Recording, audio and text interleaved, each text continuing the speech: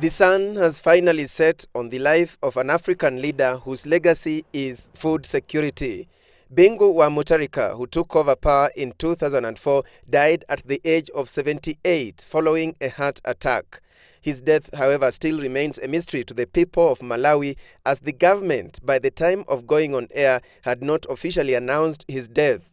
Those who spoke to Citizen TV said they have only learned of their president's death through international media and the internet. Mutharika's death was confirmed through hospital and government sources who did not want to be identified. One doctor said the president had been rushed to hospital after a cardiac arrest, but the medics were unable to save him. President Mwai Kibaki is among world leaders who have sent their messages of condolence to the people of Malawi following the demise of their leader. Kibaki said Mutharika was a distinguished economist, an international diplomat who served his country and the African continent in numerous distinguished capacities and made fundamental contributions to the world economy.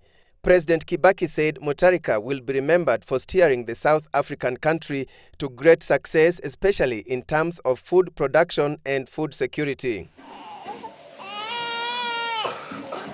Mutharika's administration transformed the tiny nation from a hunger-stricken to a food security nation. His focus was mainly on subsidies to resource-poor farmers and proper post-harvest management, as he explained to Citizen TV in an earlier exclusive interview. Without adequate food, economic development cannot take place.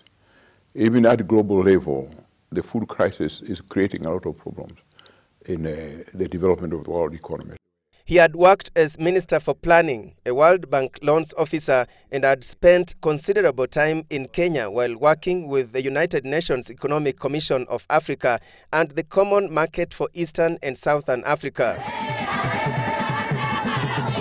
Mutharika's legacy started waning as he increasingly came under fire for attempts to rein in media and to shield the government from public criticism. He has been under pressure to resign amid accusations of nepotism and economic mismanagement. Reports indicate that his death has drawn little sympathy on the streets of Blantyre, the commercial capital, where many people viewed him as an autocrat responsible for chronic shortages of fuel, food and foreign exchange. As Malawians mourn the death of their leader, the poor nation has been plunged into political suspense as it is not clear who will succeed him. While the constitution says the vice president should take over, Mutharika had been grooming his brother.